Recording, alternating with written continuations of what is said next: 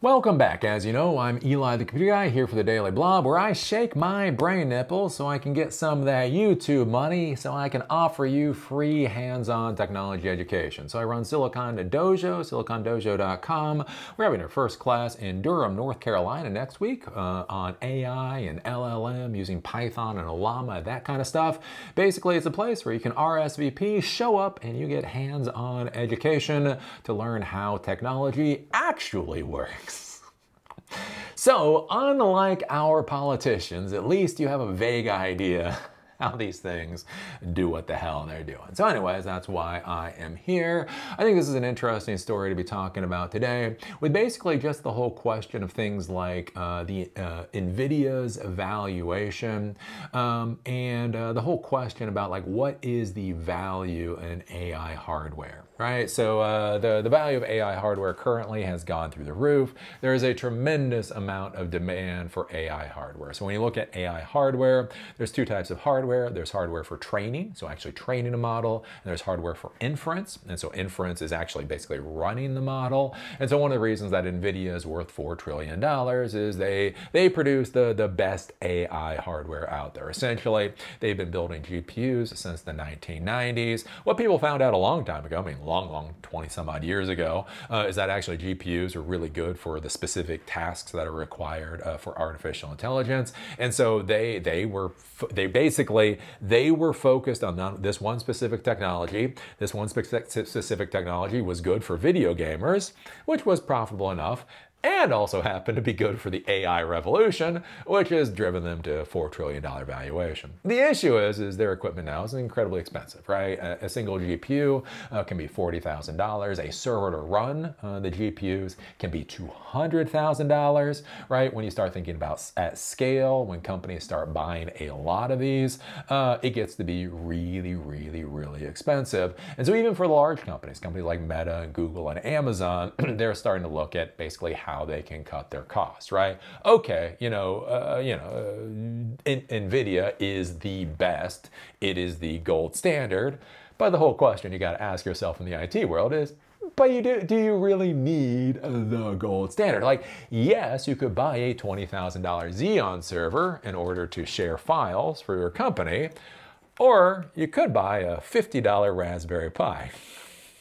Here's the thing, if all you're doing is sharing files in your company, a little FTP or a um, Samba server or whatever else, you know, frankly, a $50 Raspberry Pi might do you better. And then you can take that $19,500 $19,950 that you save uh, and spend it on something else that you really care about, like a yacht. Well, not a yacht, maybe a boat.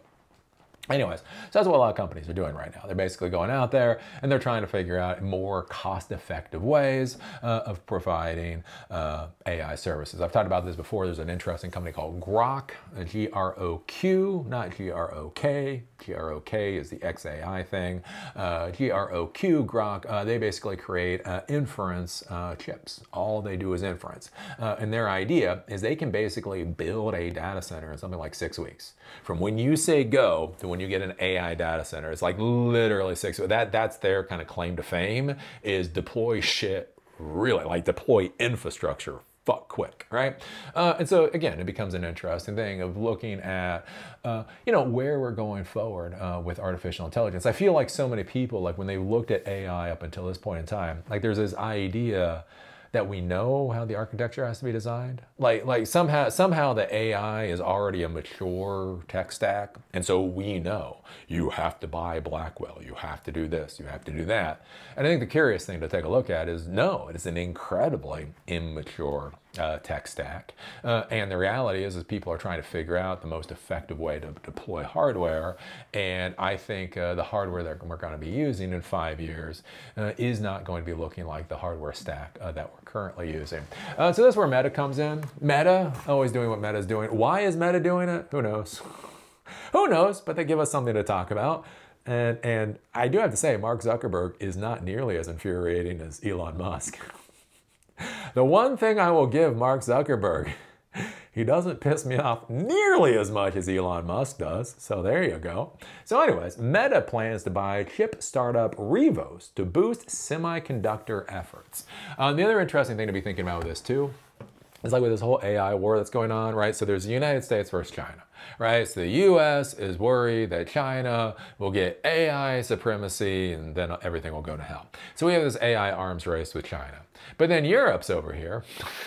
And Europe's like, well, we don't really trust any of you bastards anymore. And so they're trying to build their own AI stacks. And you got like the Middle East, you got like Abu Dhabi. And they're like, well, if everybody else is doing it, we're to build our tech stacks too. And I think that's one of the interesting things is like with the, the hardware, right? Again, the whole idea of like, what hardware stack is going to win at the end of the day? And what is actually you know, going to work. And one of the curious, curious things with Meta and Rivos is they actually use uh, the RISC-V stack. Um, so normally when you're talking about processors, uh, you're talking about x86 processors, or you're talking about like the NVIDIA GPUs, whatever the architecture theirs, theirs is, or the, uh, the ARM processors. Um, these are proprietary uh, architecture designs uh, for chips. Um, the curious thing is with this, with Meta, is they're actually using RISC-V. So a lot of people have asked, Eli, what about RISC-V? And generally my answer is, nah. it exists. The one thing I can tell you about RISC-V is that it exists. But the curious thing with RISC-V, though, is that it's an open source uh, processor standard. So basically with ARM, so what ARM is, it's a proprietary standard, but they license it out. So that's why that's why Apple uses ARM processors with their M series, or other companies use ARM, right? They are an ARM architecture that is licensed, right? With x86, they generally don't license it. There's a weird thing going on with AMD. x86 is basically owned by Intel. So the curious thing is, you start talking about RISC-V, this isn't this is an open source hardware standard which again starts to become interesting with things like nation states. And again, when we talk about nation states, so many times we talk about nation states as United States or China or Europe. Europe is not a country, but just Europe, right? But it's curious though, there's a lot of smaller nation states out there. I mean, there's the Cambodias of the world, there's the South Africas of the world, there's the Brazils of the world. And one interesting things to just consider here, like if you start pushing AI down a RISC-V open source hardware stack path, what becomes curious does, th does that then put customized AI hardware into the realm of what a, a country like Brazil can take and run with? And that's where I find this whole AI revolution thing to be really weird. And like how how it's sold, right? This idea that America has to win. And and my like I think the very concept of that is wrong.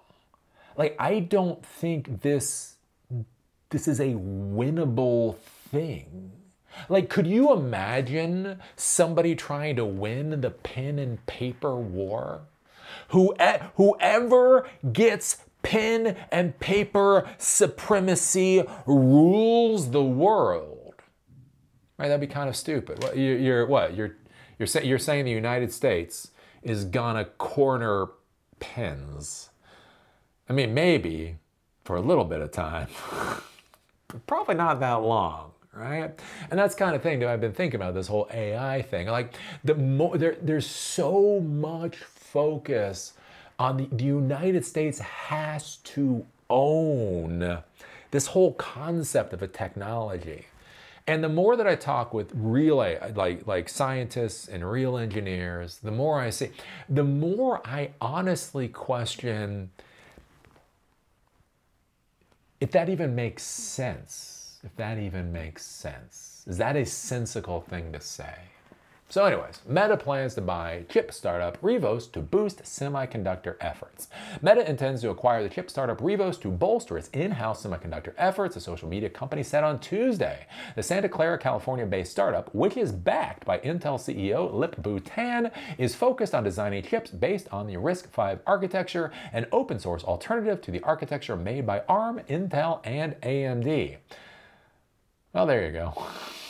It is kind of funny that the, uh, the startup that's backed by Intel's CEO um, is doing this. But anyway, that just, I don't know.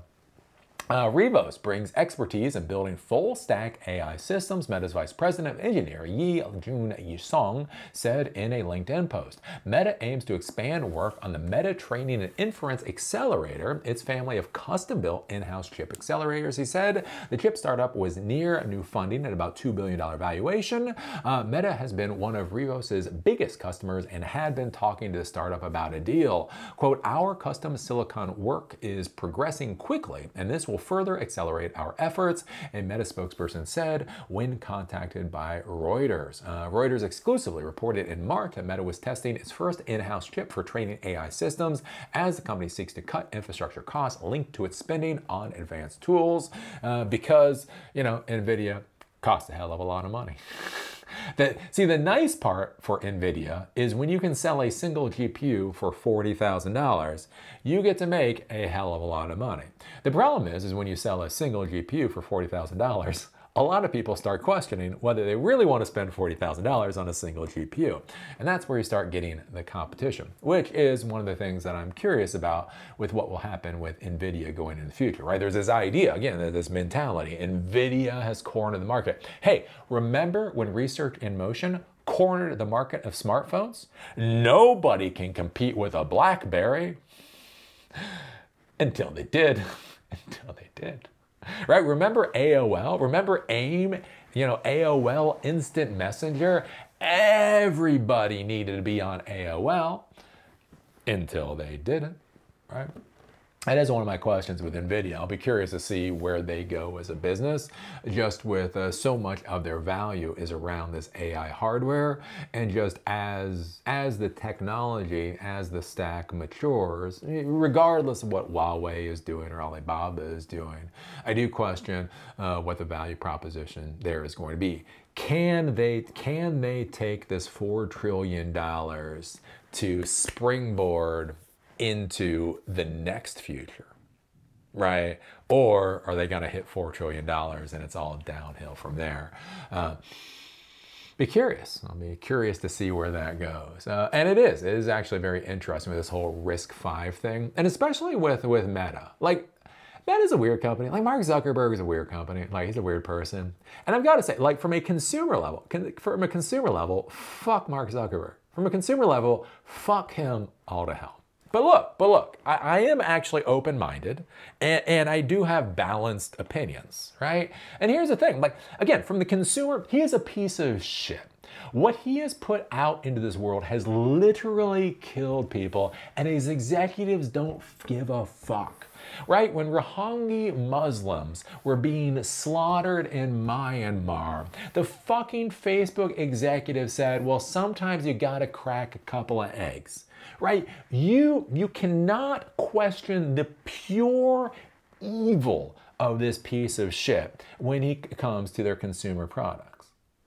But, but on a professional level, uh, look, uh, React, re the React framework that so many people use for their careers, right? That was created and that was provided by Facebook for the technology community. The Llama model which to be clear is not fucking open source and I don't give a shit what any dumbass meta employee tries to shove down my throat, you dumb fuck. Anyways, right, Llama is not open source, but it is still incredibly impressive. It's an incredibly powerful model and as long as you have fewer than 700 million monthly users and a couple of other things you have to jump through, it is something that you can use uh, in production. That has been a really good thing uh, that Meta has offered the world. Again, if they start to design these chips on the RISC-V architecture, the curious thing with the RISC-V architecture is that's open source. So how much of what gets uh, designed and created and invented then has to go back into the open source community? That that could actually be uh, pretty pretty revolutionary. Um, you know, I still don't think Mark Zuckerberg knows what the fuck he wants to do when he grows up. but, but he is throwing out a lot of resources for the people who do know what they want to do when they grow up to actually be able to build stuff. Um, so again, that might actually be a really interesting thing. I think one of the fascinating things with Mark Zuckerberg is he's just trying to dick smack so many people in the tech industry, right? Again, it's like with the Llama model, just basically giving the Llama model away for free And he did that, you know, before DeepSeek and before all that, right? O- Open OpenAI is saying they should be worth four trillion dollars or something ridiculous because of AI. You have all these companies that are running after these AI models, uh, and then Mark Zuckerberg is just like, ah, or you can use this for free. You're just like, fuck. I mean, thank you. That's kind of cold, right? Because they don't, because that's the thing. Meta doesn't make their money directly from artificial intelligence. Again, one of my questions of why they're so in AI is I don't, I don't understand the business logic there. But, but fuck it, they're doing it, right? We see this now with robots, right? They want to create the the Android of robot operating systems. Now there is robot ROS, robot OS out there. I don't know. Meta, they're doing something with their their uh, their their operating system, which apparently is different. But again, they want to create the Android of robot operating systems. No fucking clue what that has to do with Meta's bottom line. Well, but fuck it. I mean, Android was open source. I think it's open source. Anyways, hey, if, if you put if you put out a well-designed, easy to maintain robot operating system, I'm not gonna fucking cry over that, right? Again, like say you start putting out RISC-V, this this goes in the mainstream. Maybe this is what what pushes mainstream RISC-V adoption, uh, and when that gets that gets pushed, uh, you know, pretty hard, uh, that could that could be a revolution on its own. And so that's one of the weird things, like with Mark Zuckerberg Zuckerberg Meta. Again, like I say, from a consumer level, they're a bag of dicks. They're a complete and utter bag of dicks. You know, from the professional standpoint, eh, they do some nice things. Eh, they do some good things. That's the that's the dichotomy. That's the dichotomy of the tech industry for you. Sometimes, sometimes you've got to pat a, a bag of dicks on the back and say, "Good job." Hey, you're still a bag of dicks, but I appreciate, I appreciate what you just did. So anyways, what do you think about this? What do you think about Meta buying chip startup Rivos? What do you think about them creating an AI stack on RISC-V? What do you think about how generous Mark Zuckerberg is to the tech community, even at the exact same time? He's a complete dick to the consumers. put your thoughts, put your thoughts down below. Uh, give us a thumbs up, give us a thumbs down. Call me amazing, call me a dumbass. Just be a real lutnick and do it down there in the comment section. Do you remember silicondojo.com is my pride and joy. We're having our uh, first uh, class in Durham, North Carolina next week. We're going to be having more. So if you're interested in those, make sure to join silicondojo.com and stay up to date. And with that, see y'all later.